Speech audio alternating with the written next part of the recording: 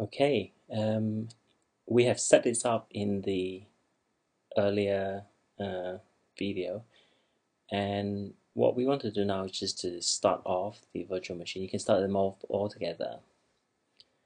But let's install this first because that's the master node. Okay, don't worry about these things.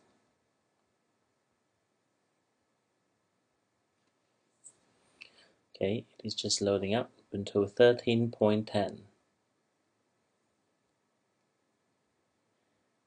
It takes a little while to boot up, but here it is.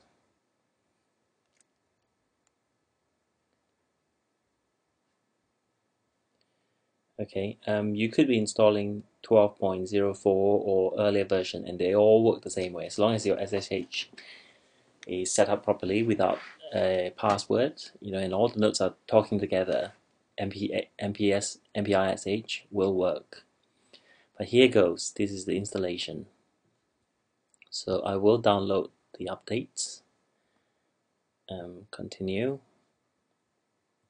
erase the entire disk, install now,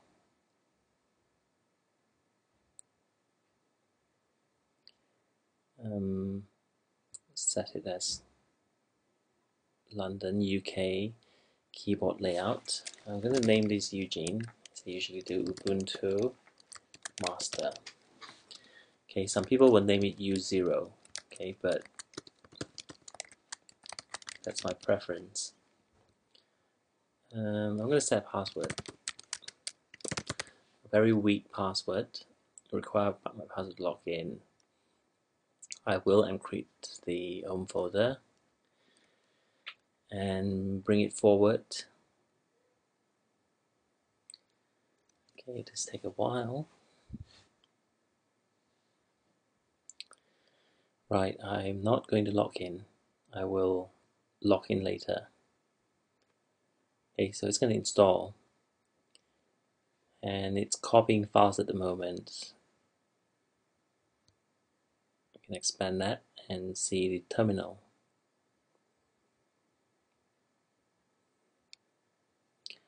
I will just let it install and then come back later when that's the next step so we save some time on the video.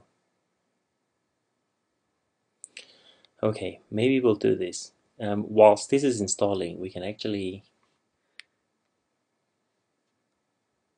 get Ubuntu Slave A to be installed. So let's start this. Just to save time and this is much easier. So we just have to press install. Close the notification bars. Okay um, it's English. Did I just right okay. Um, don't detect keyboard layout uh, I'm actually gonna go back because let's select English UK English UK um, Ethernet 0 is for the internet, Ethernet 1 is the local area network that connects to the other nodes.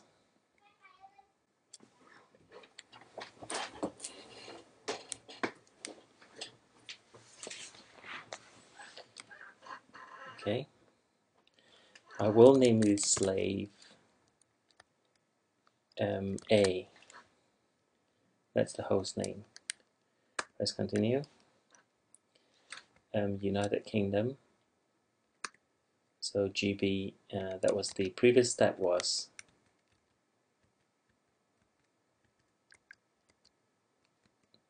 was GB archive. Okay, leave that as default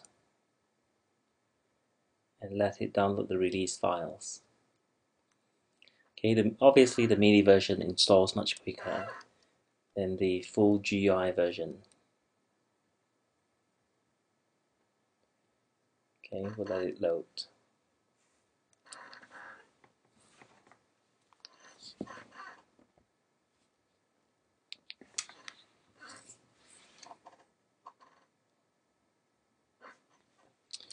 Okay, well, it's asking for the users and passwords. I will put in my name and also a name for the account. Um, the because of the virtual machines, I'm sending enter and it's sending it twice. Pick the same password from the master, doesn't matter, and retype that. Um, that's okay. We'll give it as a weak password. We want to encrypt the home directory, and time zone we'll set it as yes. Okay, and we'll let it continue. So the installation for the master is complete, and we will restart. Okay. Just let it restart and then come back to the slave A and we have the guided and use entire disk, we'll use that and let it continue. Yes, we will write the changes to this for the following partitions, formatting and device changes. Press yes. Okay, it will continue. And now the on the master virtual machine, come up from the slave on the master virtual machine, it's asking you to press enter. Right, on the virtual machine, sometimes you cannot get out of the uh, the virtual machine using the control the right control key because Mac doesn't have a right control key. What should you do? Well, for me, I'll go to the virtual um, uh, file, uh, virtual machine file preference, in the input, I will change the virtual machine tab's host key combination to right alternate. Okay, and hopefully that will bring me out from the virtual machine. So if I click click here, um, let's see what other settings I have. Okay, okay, it is the same. Right, okay, that's not it. So if I click in, and press alternate, it will bring me out. Okay, so my mouse uh, uh, icon could come out from the virtual machine. If I click it again, press alternate, and that comes out. And that's settings from the file preference for Mac users. Okay, for Windows users, well, just the right control key. So this has installed, um, the media is installed, Okay, actually the master doesn't really matter. I'm going to just press enter and let it reboot. Coming back to the mini installer, going to install security updates automatically. Okay, whilst waiting for boot up from the Ubuntu master. Um, not or present.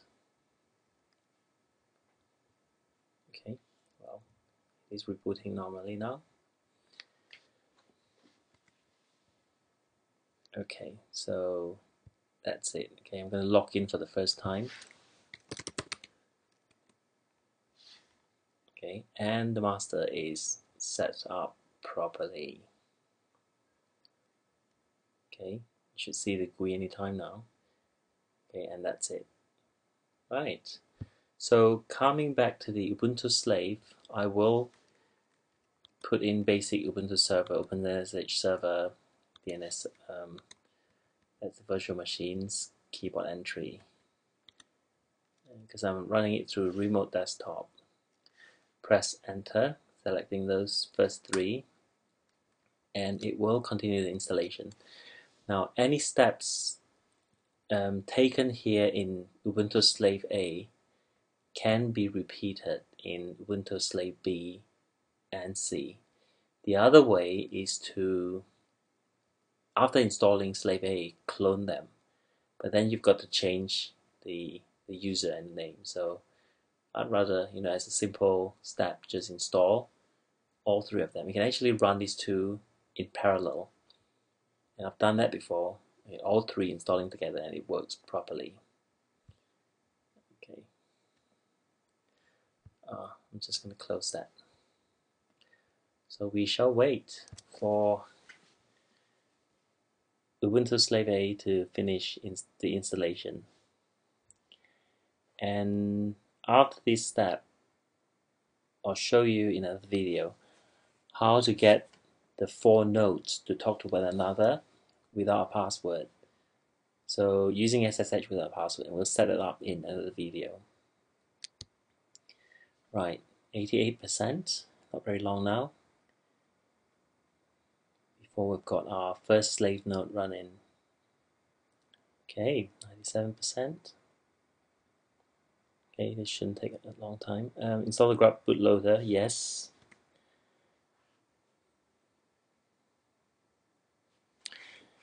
Okay, press yes.